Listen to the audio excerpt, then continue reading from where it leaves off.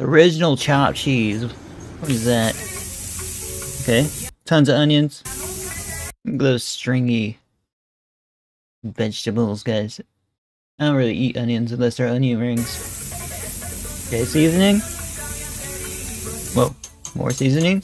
Oh, those kinds of bread. What what kind of bread is that? that? There has to be a name for that kind of bread, bro. There has to. Mincing up. Oh my goodness, destroying that, bro.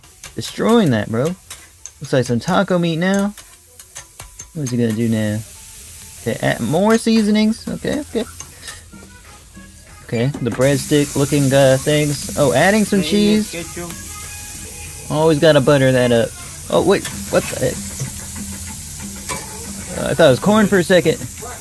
Tomatoes. Oh, eat tomatoes. What's the chopped cheese? OMG, bro. It's not even a hot dog, bro. I thought it was a breadstick. What'd you guys think about the original chopped cheese?